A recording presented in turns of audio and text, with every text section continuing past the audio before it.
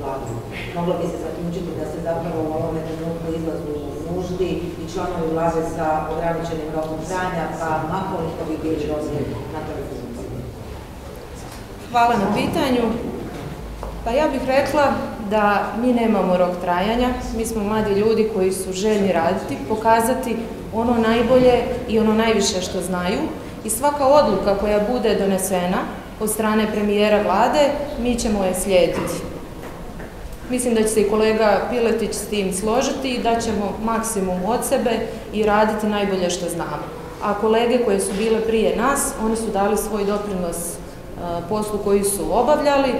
Ako procjene budu takve i ne podignu se optužnice, vidjet ćemo šta će se dalje dešavati, a vi ćete naravno o tome svemu biti obavješteni. Što su za vas prioriteti na mjestu podpredsjednice vlade? Koji su vaši prvi i najvažniji procesi koje mislite da apsolutno morate završiti do kraja mandata kad god može Pa ovako, kao potpredsjednica vlade, ono što je doneseno i što sam razgovarala sa potpredsjednikom Miloševićem, vidimo da moramo donijeti i to je već dovedeno u fazu pri kraju je, to je nacionalni plan zaštite ljudskih prava i diskriminacije. Također trebamo donijeti nacionalni e, plan za ravnopravnost spolova.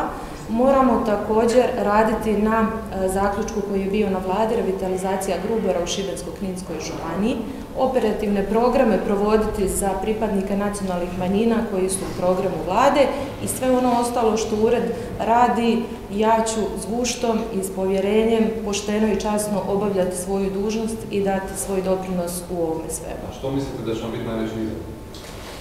Pa svaki izazov kad dođe pred mene, tada ću ga i rješavati. Ne vidite ništa jasno ispred sebe, nešto što bi zaista moglo biti izazova, da je već sad vidimo?